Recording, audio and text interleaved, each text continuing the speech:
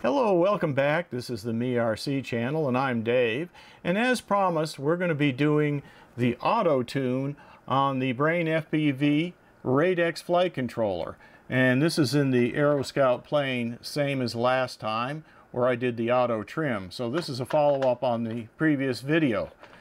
So let's get started. We'll just go in and look at the settings in iNav. So let's go ahead and set a switch up on the radio for auto tune. So I'm going to go ahead and connect. And we're going to go to the modes tab. And I also have an arm switch up here on channel 5. But we're going to be setting down here the auto tune. And that's right here. So I've already set it up. You just hit add range and then you go ahead and pick your channel right here. And for my radio, it's channel 9. And I have a switch right here.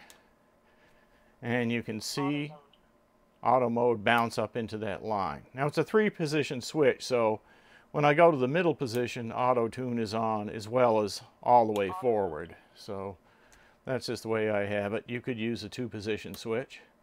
Okay, so the switch is all set up and we're ready to go. And then you can just click save when you're done setting it up. Okay, let's check our PIDs before we run auto tune. So I'm going to go ahead and connect. And then go to PID tuning.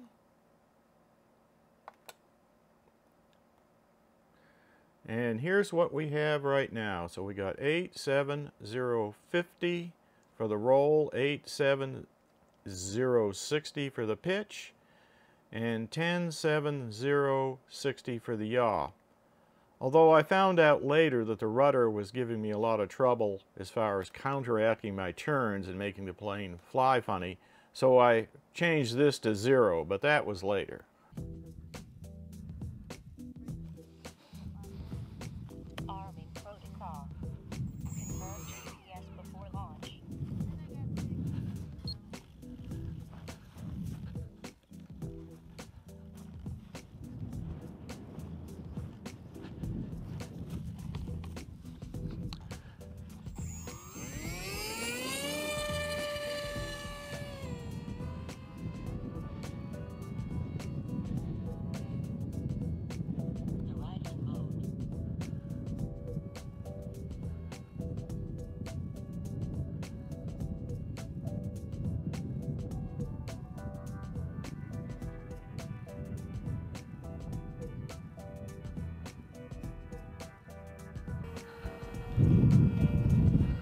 Auto mode.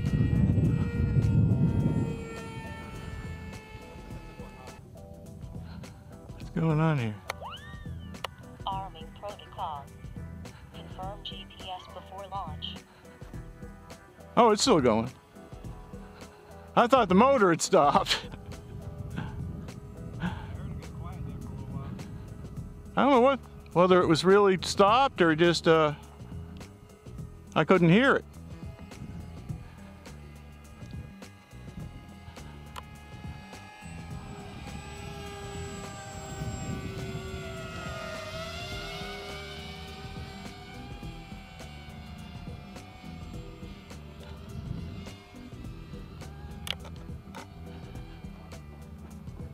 All right, I turned auto mode off.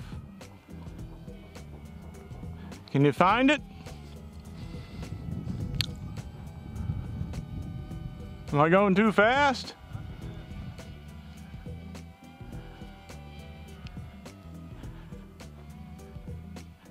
Oh, went off again.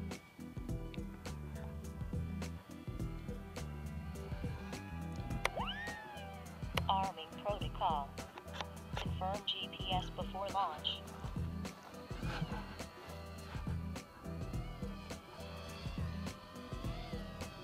So I landed because the motor cut off again. The other time I was able to rearm it, but that time I wasn't.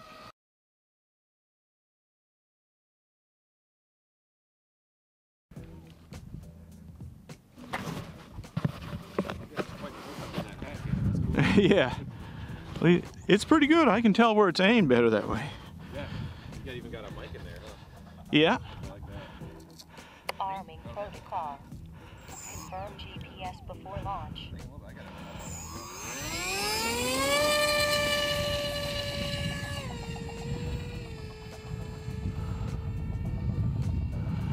Really got to use the rudder on a day like this.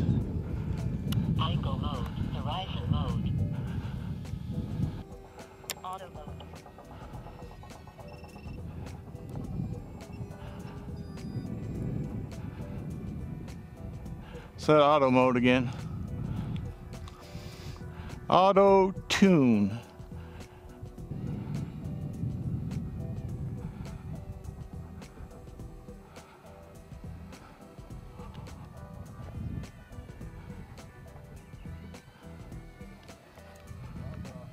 Yeah.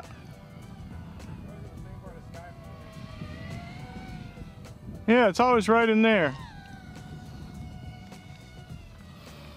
Okay, I didn't disarm it, but it did hit the ground.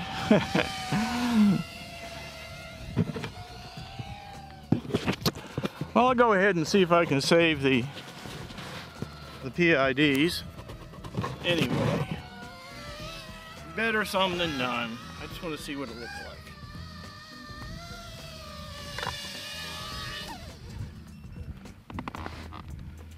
So where did it land? Behind me there.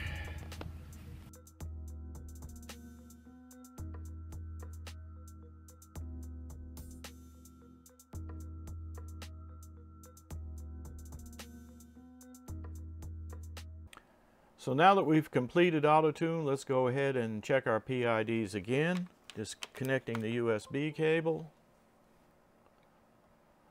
Now we'll go ahead and connect. Go to PID tuning. And you can see that the values changed in certain columns.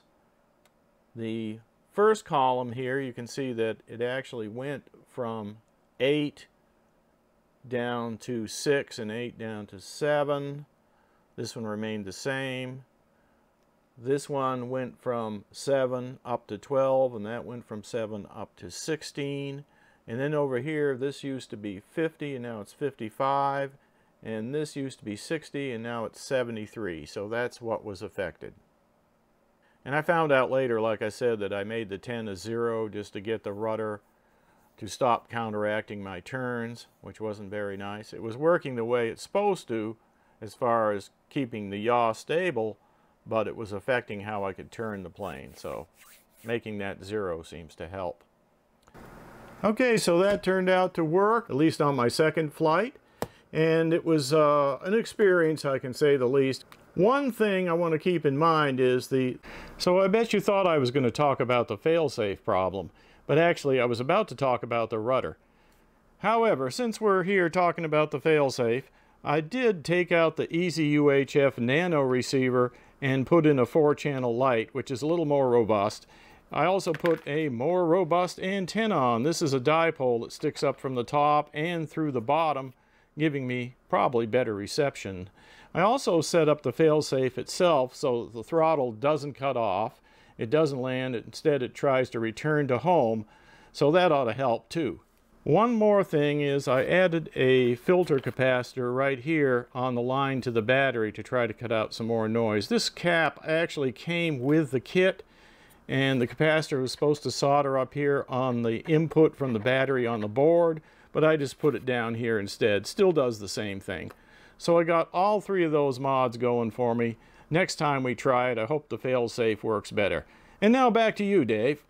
The rudder was giving me trouble, and I'll probably do another video on that because what was happening is because there was P gain on the rudder, when I tried to make a turn either left or right, the rudder would try to level the plane off. So if I went like left, it would try to make the plane go right, which is the way the feedback on the flight controller is supposed to work for the rudder, but it doesn't work very well for flying. So I think I'm going to make another video where I turn the P gain down to zero on the rudder so that we can have more of an airplane-like feel instead of a quadcopter-like feel. Great for quadcopters, not good for planes.